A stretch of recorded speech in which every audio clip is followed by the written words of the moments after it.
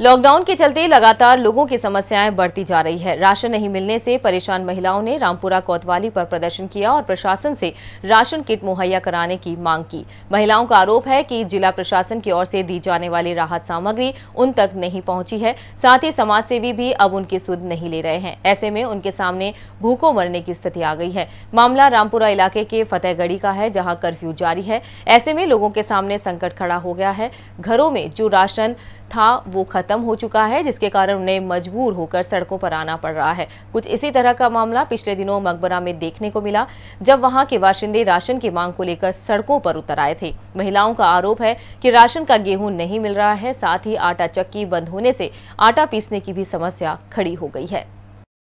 क्या खाली राशन से गेहूँ मिले और कुछ भी नहीं मिला। कुछ भी नहीं मिल रहा। गेहूँ पिसाने की व्यवस्था नहीं है क्योंकि चक्की बंद पड़ी हुई है। पड़ी है। आटे के कट्टे भी देने नहीं आए कुछ भी सामान नहीं आ रहा है यहाँ पर। धारीवाल जी की तरफ़ से कोई सुविधा नहीं आ रही सुविधा है नहीं है यहाँ पे कुछ भी नहीं आए। नाम लिख आ लिख रही के ले जा रहे हैं। पचास रुपए किलो आलू पचास रुपए किलो टमाटर सब चीज़ महँगी है, सब्ज़ियाँ भी महँगी है। ही नहीं है हाँ? कहाँ से